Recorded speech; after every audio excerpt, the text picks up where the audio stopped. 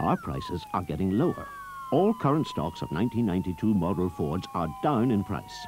The Fiesta LX, for example, is down from an MRP of 8,840 to under 8,040. That's a saving of at least 800 pounds. Northern Ireland Ford dealers. It's worth dropping in soon.